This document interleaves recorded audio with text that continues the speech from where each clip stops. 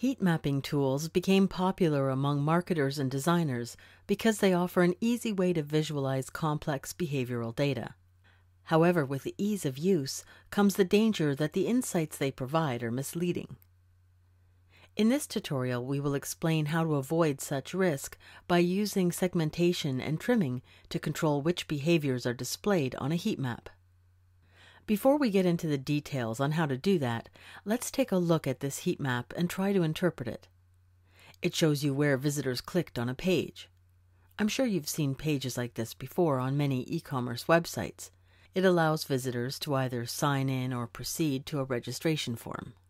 There were, as you would expect, lots of clicks on Sign In Now and Create Account buttons. Both buttons get a similar share of clicks which indicate that the business retains existing customers but also acquires new ones. There were also some clicks on Forgot the Password link. It would be better if everybody remembered their passwords, but obviously that's not possible. Therefore, the clicks only confirm that the link is in fact needed.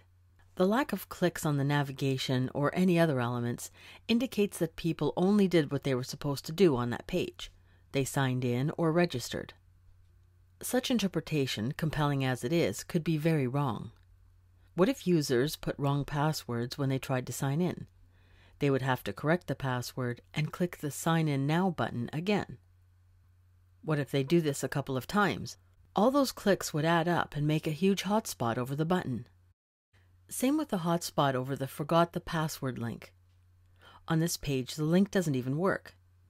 If visitors clicked it multiple times in frustration, we would get another hotspot. What could those visitors have done next if the link didn't work? Probably some of them would have clicked the Create Account button. So maybe there were fewer new customers than we first thought, and in reality, existing customers who couldn't sign in decided to register. That wouldn't be bad after all, they would remain customers. But does the click on the Create Account button mean that visitors registered? What if they went to the registration form, entered their email, and got an error that the email is already registered? It's so easy to get fooled by a heat map, but that doesn't mean that heat maps are useless. You just need to use them wisely. The most important thing is to always generate separate heat maps for visits in which users failed and succeeded to complete a particular process or part of it. In this case, we would need to see heat maps for segments of visits with and without the account HTML page to which users are taken upon successful login or registration. You can add a new segment by clicking the plus icon. To find visits to the desired page, you need to use either the section or URL meta events as a filter. Once you choose the M data point type, the section event will be automatically selected. Sections are by default based on the part of the page address after the domain name. But unlike URLs, they include hash value and exclude search parameters. I will choose the Account HTML section from the Value field and click the Apply button. Now we need to create the second segment of visits without the Account HTML section. I'll duplicate the segment with the Account HTML section by clicking the last icon on its branch.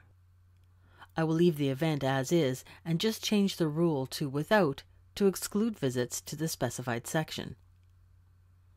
Now we have two mutually exclusive segments, and we need to generate heat maps for each of them. Let's start with the successful visits. I will select the segment and then click the Heat Maps tab. I will set the minimum screen width to 1024 pixels to exclude data from devices with smaller screens, for which there is a different layout. This website doesn't have a responsive design, but if your site does, then you will likely need to set the maximum screen width as well to get accurate heat maps. Since I need a heat map just for one page, I will specify its name here. Otherwise, I will get a heat map for all of the pages visited by users in my segment. I will discuss the other options later. Let's see the heat maps first. There are three types of heat maps in UseItBetter. The Click heat map shows you where the people clicked. The Moves heat map is based on mouse pointer or finger position. The exposure heat map shows how long each part of a page was visible in visitors' browsers. To see the click heat map, I need to select the desired page, in this case the account login page, and hit the Clicks button. It will take me to the website with the heat map overlay.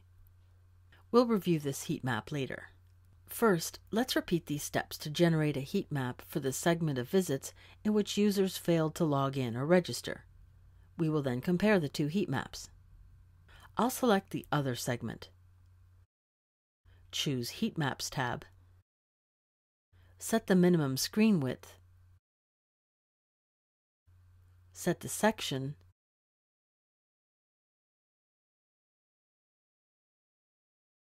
and load the heat map.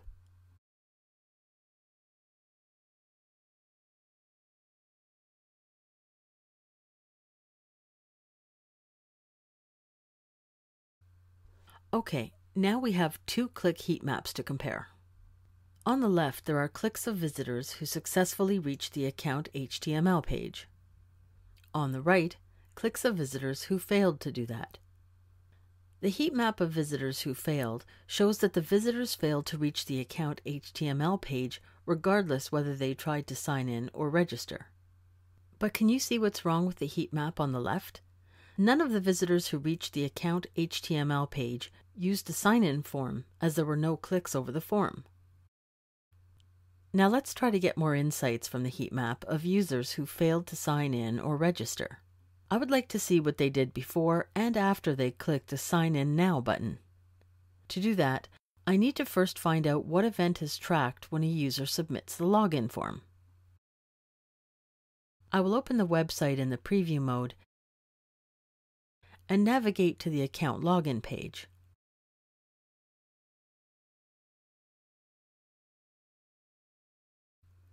In the console log, I can see all the events that happened so far.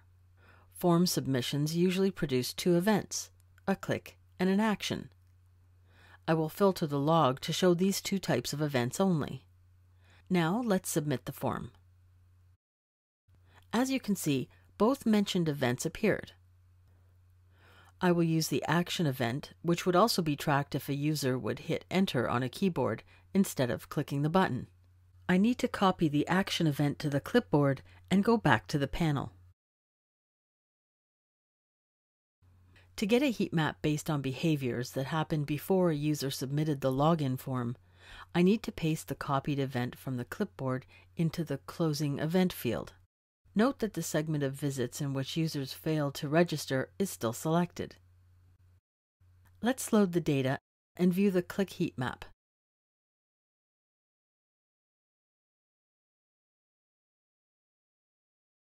As expected, the users only clicked on the login form fields before they submitted the form, and that's okay. Let's get another heat map, this time based on the behaviors that happened after users submitted the login form. I will use the same action event, but this time as the opening event. I will also clear the section field to get heat map data for any page visited after the form submission action.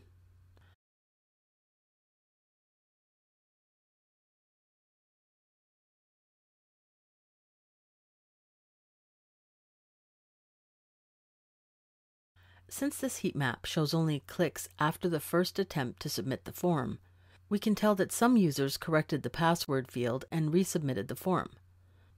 Some of them decided to register a new account. Since we generated the heat map for all the sections, we can now follow the user's footsteps and see what they were doing on other pages. You can use the same approach to analyze other areas of your website using heat maps. For example, to find out what people were doing before they added a product to the basket and after, or to compare behaviors of visitors who added a product to the basket and didn't do that. That's it.